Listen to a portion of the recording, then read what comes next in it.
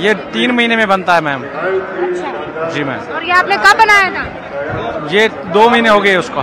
दो महीने पहले बनाया। दो महीने पहले? कितने दिन में? तीन महीने में? तीन महीने में। अच्छा। तो आप क्या संदेश देना चाह रहे थे प्रधानमंत्री को इसके मैम मैं नरेंद्र मोदी साहब से गुजारिश करना चाहता हूँ कि जो उन्होंने पहले स्कीम निकाली है विश्वकर्म स्कीम है। इसमें 18 ट्रेड है। हमारा ट्रेड इसमें नहीं है। मैं गुजारिश करना चाहता हूँ नरेंद्र मोदी साहब से हमारा ट्रेड भी इसमें आना चाहिए। और हमें लोन की ज़रूरत है। हमें लोन नहीं प्रोवाइड हो रहा है बैंकों में। लोन और आप कह रहे हैं जिस कैटेगरी में आप लोगों को नहीं रखा गया उस कैटेगरी में रखा जाना जी जी जी मैम ये मेरी गुजारिश है मोदी साहब से। ये बात आपकी ज़रूर पहुंचेगी। रविंद्र जी इस वक्त जो है, रविंद्र रैना साहब को आप देखिए, किस तरीके से वो चारों तरफ़ से घिरे हुए हैं। सर लाइव है, इधर आइए। लाइव है, आप इधर आइए। रविंद्र रैना जी! रविंद्र रैना जी! आप देख रहे हैं, रविंद्र रैना जी को चारों तरफ़ से घेर लिया गया है। और वो ये कह रहे हैं सिर्फ़ ज़बरदस्त है ज़बरदस्त है। प्रधानमंत्री नरेंद्र मोदी की स्पीच को जो है वो यहाँ पर ज़बरदस्त कहकर आगे निकलने की कोशिश कर रहे हैं लेकिन चारों तरफ़ से उनको घेरा गया है।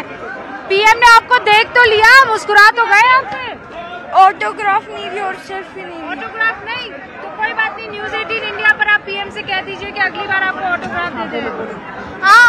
पीएम मोदी आप अगली बार मेरा ऑटोग्राफ मुझे दीजिए और सेल्फी खींचिए आपका ऑटोग्राफ आपको कैसे दे दें? वो तो अपना ऑटोग्राफ देंगे ना आपको। हाँ वो- लेकिन वो फिर भी मेरा हुआ ना। हाँ बिल्कुल वही हुआ। आप जो है तमाम मीडिया कर्मियों से बात कर रही हैं। बहुत बड़ी बड़ी जो है यहाँ पर लोगों की तरफ़ से पहले हिदायतें दी जाती थी कि भाई एक पैटर्न है उस पैटर्न में रहने की ज़रूरत है। लेकिन अब चीज़ें बदली हैं। हाँ काफ़ी बदली है 80 परसेंट बदली है। 20 परसेंट अभी बाकी है। और वो ट्वेंटी परसेंट क्या क्या है? अम, पहले हफ़्ते में सातों दिन टेररिस्ट के हमले होते थे कोई ना कोई मरता था। एक जवान जवान सुबह निकलता था शाम को वो नहीं आता था। विधवा किसी माँ का एक ही बेटा शादीशुदा दुल्हन। तो अब क्या है कि अब वो चीज़ें महीने में छः महीनों में एक बार साल में दो बार हो रही है। हफ़्ते में कंटिन्यू नहीं हो रही है। जी बिल्कुल। तो आप कह रही हैं कि वो बदलाव आएगा बीस परसेंट? बिल्कुल आएगा हंड्रेड परसेंट आएगा। और यहाँ पर वो बहुत से लोग थे और पाकिस्तान अक्सर इस बात पर नज़र रखता था कि कैसे बेरोजगारी चरम पर हो कैसे नौजवानों को गुमराह किया जा सके। अब वो ऐसा करता हुआ आपको दिख रहा है? जी हाँ बिल्कुल। देख लीजिए दुश्मन हर किसी के होते हैं।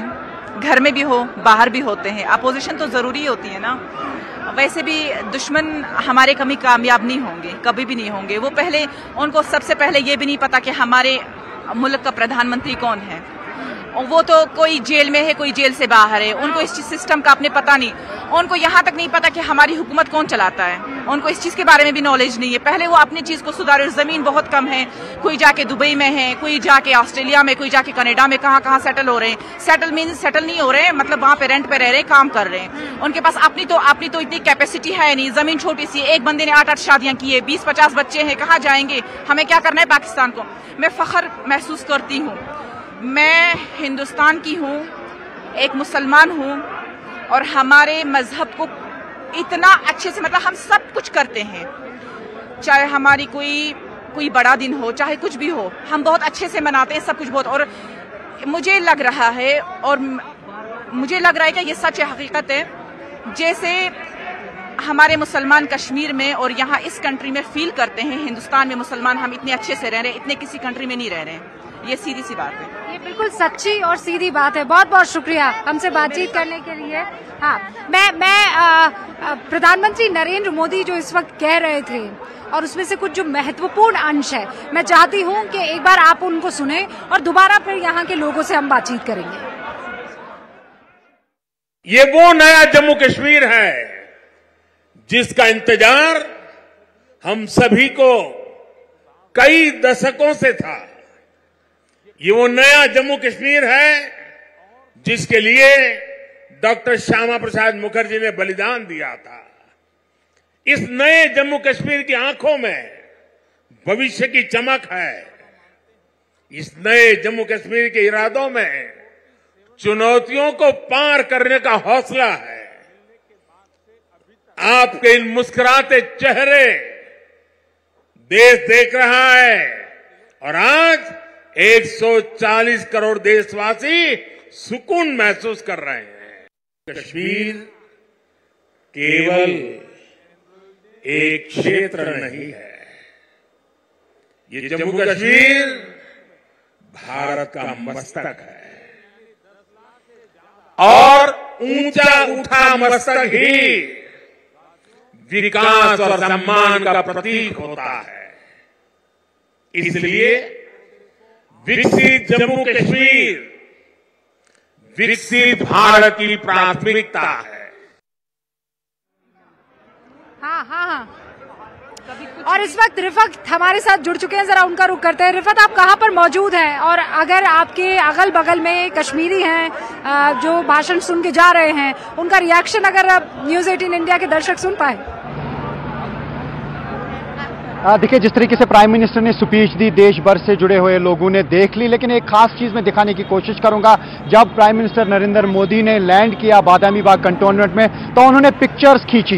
ये वो मंदिर है, शंकराचार्य जी का मंदिर, आप देख सकते हैं कितना खूबसूरत है ये एरिया बर्फ़ से ढकी हुई पहाड़ी है सबसे पहले प्राइम मिनिस्टर नरेंद्र मोदी ने यहाँ पर ही पिक्चर्स खींची। जब वो लैंड कर गए हेलीकॉप्टर से या चॉपर से, जब वो नीचे उतरे बादामी बाग कंटोनमेंट में तो उन्होंने पहले फोटोग्राफर को कहा कि यहाँ मेरी पिक्चर खींचे और पीछे था यही शंकराचार्य का मंदिर। आप देख सकते हैं कितना खूबसूरत एरिया है जबरवन पहाड़ियों के बीचों बीच वाका है। और ये हैं वो पिक्चर्स जो देश भर के लोगों ने देखी होंगी।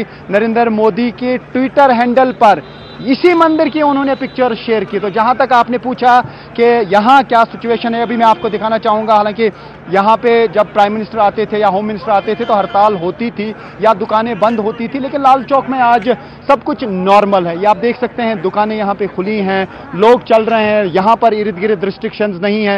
हालाँकि बख्शी स्टेडियम के इर्द गिर्द सुरक्षा के सख्त इंतज़ाम थे लेकिन आज क्या है लाल चौक में? ये आप देख सकते हैं, जो देश भर से दुनिया भर से हमें दर्शक देख रहे हैं, वो देख सकते हैं कि बिल्कुल नॉर्मल हालात हैं यहाँ लाल चौक में। शायद पहले ऐसा नहीं होता था, लेकिन जो लोग अलग अलग एरिया से आए थे, वो यही सुनने आए थे कि आखिर प्राइम मिनिस्टर नरेंद्र मोदी क्या कहेंगे। प्राइम मिनिस्टर नरेंद्र मोदी ने खास बात यही की कि कश्मीर के लोग भी मुझे अपना परिवार समझते हैं। जिस तरीके से पिछले कुछ दिनों से लगातार यही ट्रेंड चल रहा है, मैं हूँ मोदी का परिवार। तो उन्होंने कहा कि कश्मीर के लोगों का मैं दिल जीत चुका हूँ।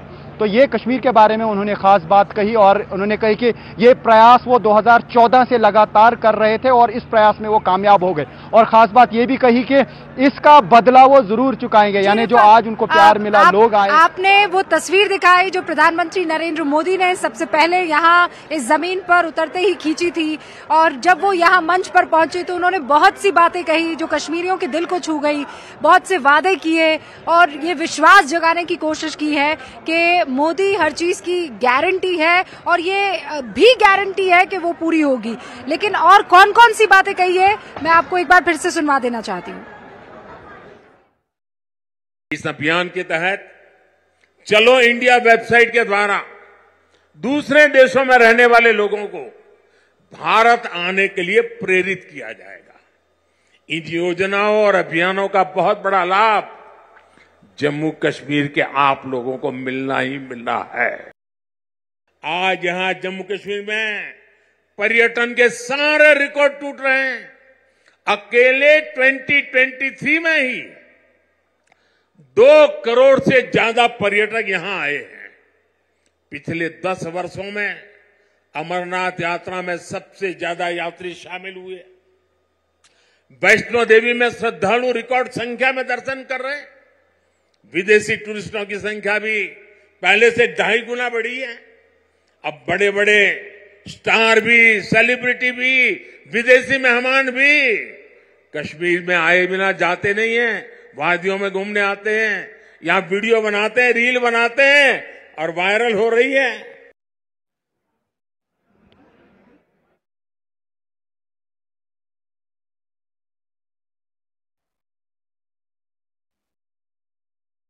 ये तस्वीरें इस वक्त हम देश के प्रधानमंत्री के दिखा रहे हैं। जो बड़ी बातें उन्होंने जम्मू कश्मीर को लेकर कही और जो भावनाएँ हैं वहाँ के लोगों की, वो भी हम अपने सहयोगियों के ज़रिए वक्त वक्त पे आपको बता रहे हैं। रिफत वहाँ पे मौजूद है, रूबिका भी वहाँ पे मौजूद है उनके ज़रिए हम तस्वीरें वहाँ से, खास तस्वीरें जम्मू कश्मीर की दिखा रहे हैं।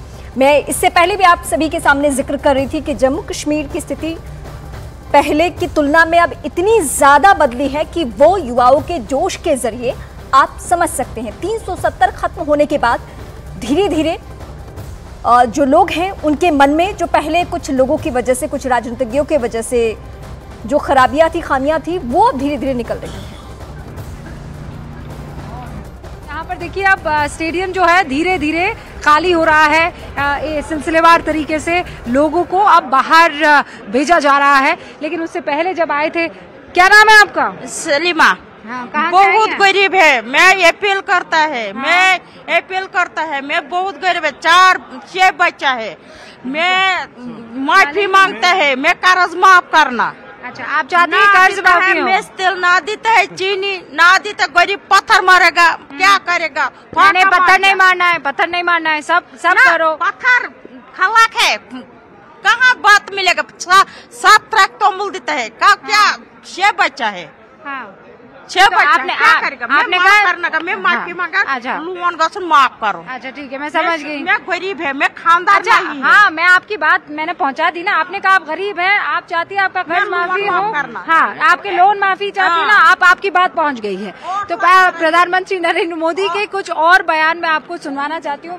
मैं एक बार एक बार प्रधानमंत्री ने जो कहा वो सुनवा दूँ? हाँ आपकी इजाज़त से एक बार सुनवा दूँ? फिर आती हूँ। ठीक है सुनिए क्या कह रहे हैं प्रधानमंत्री। साथियों, आज़ादी के बाद जम्मू कश्मीर परिवारवादी राजनीति का सबसे प्रमुख शिकार हुआ था। आज देश के विकास से परेशान होकर, जम्मू कश्मीर के विकास से परेशान होकर परिवारवादी लोग मुझ पर व्यक्तिगत हमले कर रहे हैं। ये लोग कह रहे हैं कि मोदी का कोई परिवार नहीं है। लेकिन इन्हें देश इनको करारा जवाब दे रहा है। देश के लोग हर कोने में कह रहे हैं, मैं हूँ मोदी का परिवार। मैं हूँ मोदी का परिवार। मैंने जम्मू कश्मीर को भी हमेशा